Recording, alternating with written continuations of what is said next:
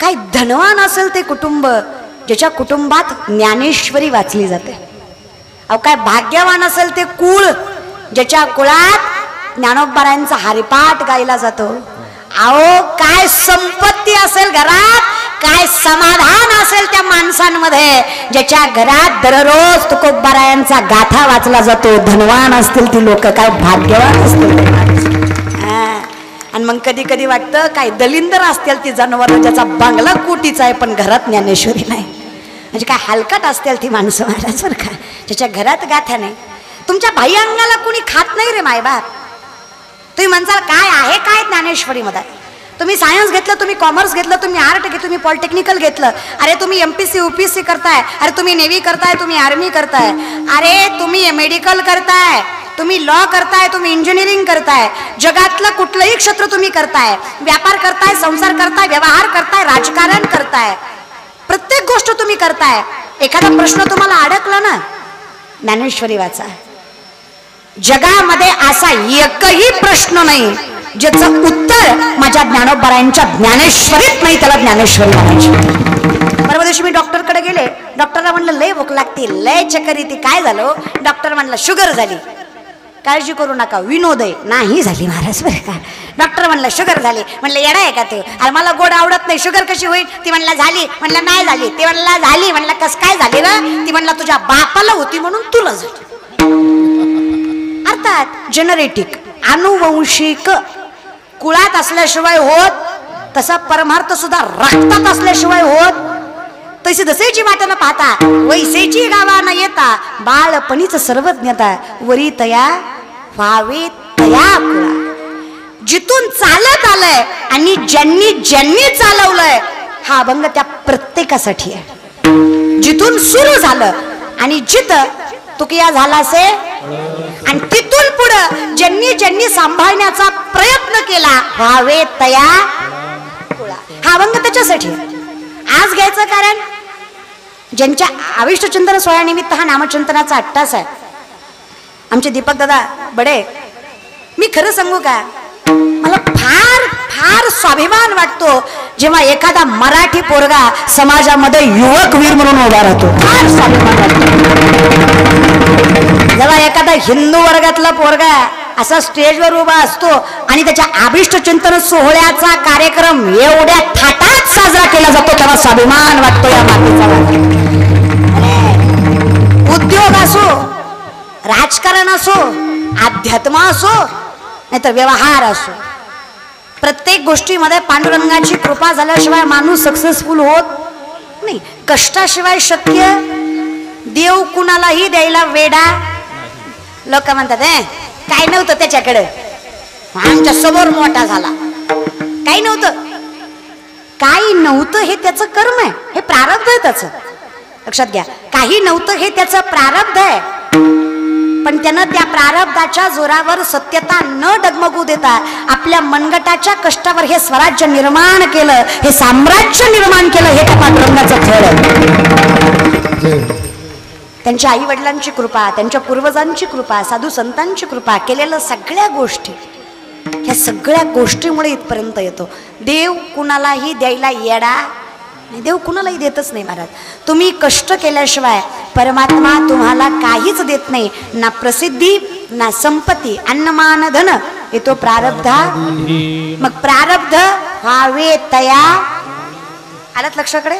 प्रारब्ध म्हणजे केलेल्या पूर्वजांनी जे केलं आज बंगला जरी माझा असला तरी हा बंगला माझ्या वडिलांच्या कष्टामुळे आणि आईच्या इमानदारीमुळे आहे. ज्याला कळलं ही संत मंडळी ही सुखी आहे. बाकी सगळी कल्पनेची ज्याला वाटलं माझ्यामुळं झालं अहंकाराचा मग आम्ही यांना मान्यता देत नाही. आम्ही मान्यता त्याला देतो ज्याला मूळ माहीत आहे. मूळ फार प्रबळ असलं पाहिजे महाराज. मुळाशिवाय पर्याय नाही. म्हणजे काय? साधी गोष्ट आहे ना. आजकालच्या आईला जर म्हटलं म्हणजे आपण तुम्ही आहे ना आजच्या पिढीला फार नावं ठेवता. पण माझी एक विनंती कधी विचार करा ना. तुमच्या काळात तुम्हाला उठवायला वासुदेव होता. होता का नाही? हा? आम्ही पाववाल्याच्या भोंग्यावर जागी झालेली लेकर आम्ही करून करून काय करणार रे आयुष्य? हां? तुम्हाला झोपायला आजीची अंगाई होती. हं, आम्ही शांताबाईवर झोपलेली लेकर आहेत महाराज. काय पदरात काय पडलं आमच्या? हा? संस्कार नावाची काय गोष्ट आमच्या पदरात पडली?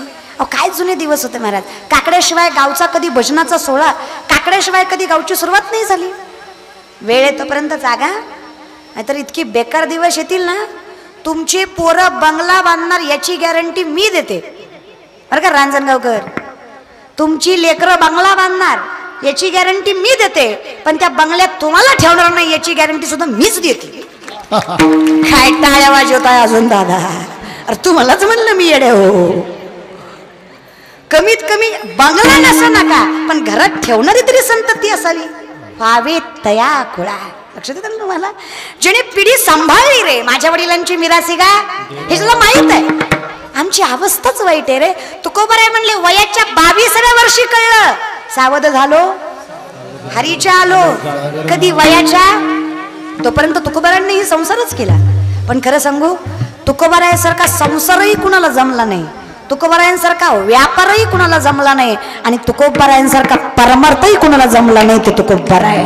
काय काय तुकोबाराय महाराज? ज्या मातीहून चालतात ती माती विठ्ठल विठ्ठल म्हणते. ज्या दगडाला हात लावतो तो दगड पांडुरंग होतो. तुकोबाराय कीर्तन करायला लागले. पुणे जिल्ह्यात नायगावमध्ये मेलेला पोरगा उठून उभा राहतो याला जगद्गुरु तुकोबाराय म्हणायचं. तरी ते तुकोबाराय म्हणतात ज्ञानी यांचे राजे तुम्ही मज पामरा. काय? संत सुद्धा गर्व करत नाही हो. पण तुमची आमची काय गत आहे मला कधी कधी नवल वाटतं महाराज. म्हणजे काहीच नाही रे आपल्याकडे. काय? पण मला एखादे संत सांगा जे गरीब होते. चला जवळचं घेऊ. पैठण? जवळ आहे ना तुम्हाला? पैठण? हां. आम्ही जवळच्या देवाला जात नाही. आमचं कसं आहे ज्या देवाचा प्रचार जास्त आहे त्याच देवाला गर्दी जास्त आहे.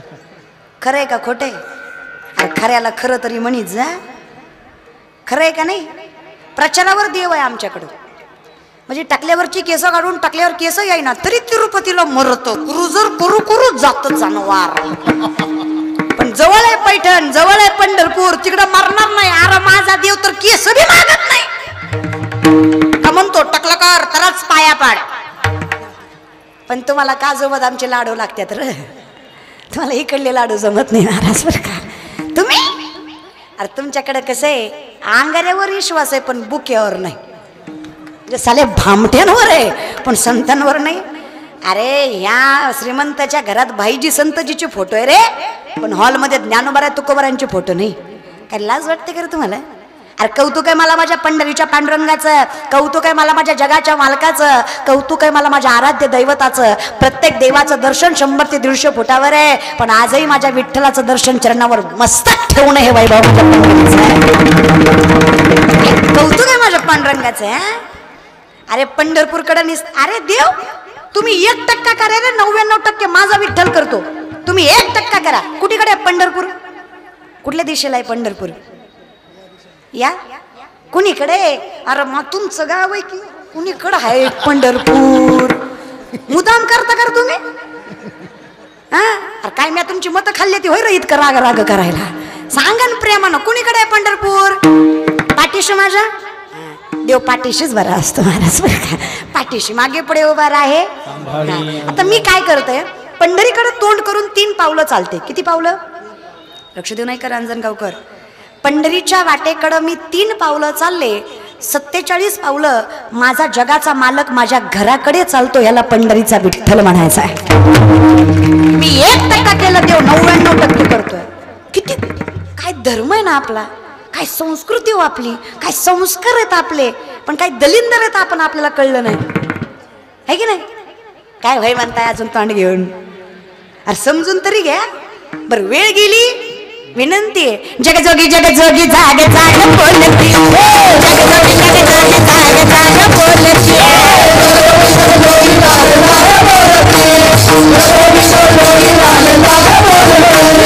उठा उठा.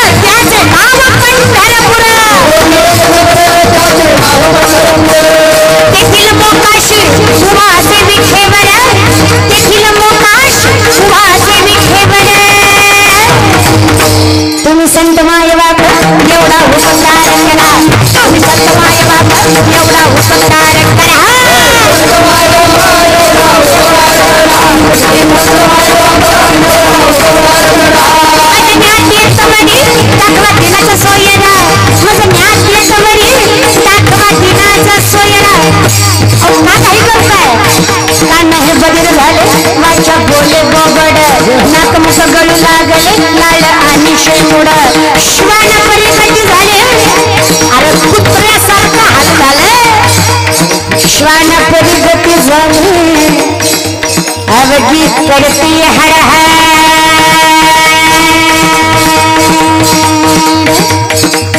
तुम्ही संत माय संत माय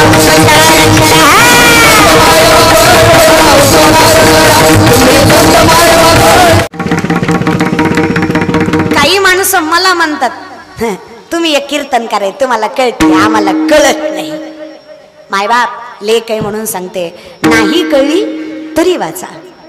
आज नाही कळली उद्या कळेल उद्या नाही कळली परवा कळेल. मायबाप तुम्हाला ज्ञानेश्वरी नाही कळली तरी चालेल. माझ्या ज्ञानेश्वरीला तुम्ही कळलात तुमच्या जीवनाचं कल्याण आहे माझ्या ज्ञान ज्ञानेश्वरी.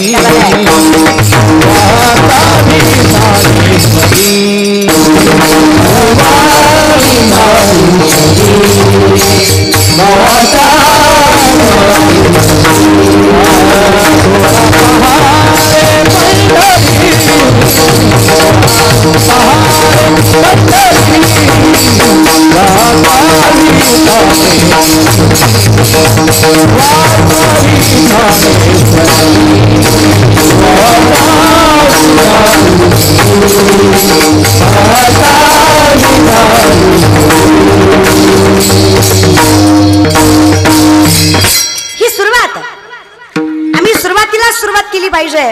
कारण वेळ निघून गेल्यावर सुरुवात करण्यात मजा. नाही. नामदेवराय म्हणले मी आयुष्य मागणार. पण व्यक्तीला नाही मागणार.